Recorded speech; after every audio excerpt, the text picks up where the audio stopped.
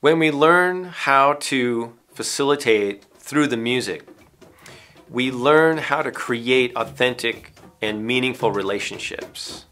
And we learn how to gently move and guide those relationships so they can change and so they can open and blossom and become more of what they're trying to become.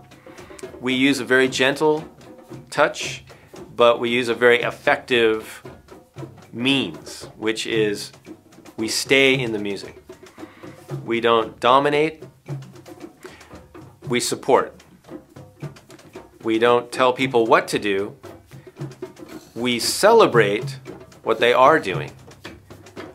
We know that there's a difference between the product of just getting everybody to do the same thing together, which can look like unity, but which actually is the opposite of community.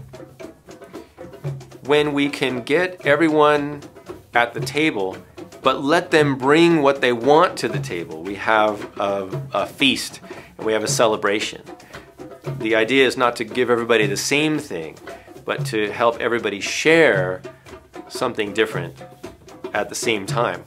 And that way, we all benefit. We all have more. The more we can share, the more we all have.